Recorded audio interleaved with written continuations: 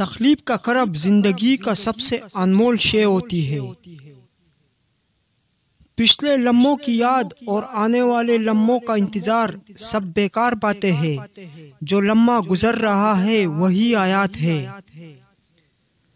ज़िंदगी इसलिए असीन लगती है कि इसमें मौत का खौफ शामिल होता है। उसन के सामने कानून और उसूल सब दर्रे के दर्रे रह जाते हैं।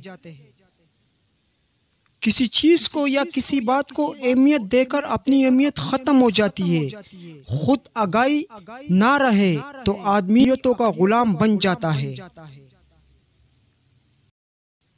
जहानत सारी फसाद की जड़ है। अगर आदमी मजलूम बनने से इनकार कर दे तो जालिम फन भी नहीं सकता।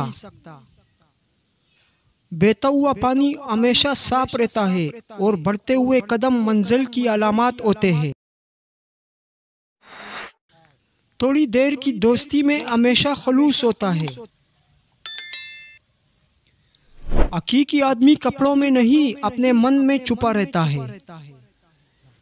समाजी और तमनी सोच हमारे दिमाग में होती है, दिल में नहीं होती।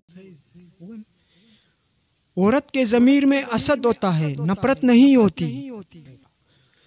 उम्मीद सिर्फ़ गरीबी का आसरा नहीं होती है, ये अमीरों के सीनों में भी हलचल मचा देती है।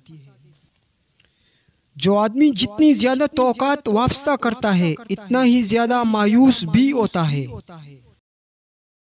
दुनिया में हर काम के लिए अलग अलग आदमी पैदा होते हैं, इसलिए जो जैसा है, इसको ऐसी हैसियत में रहना चाहिए।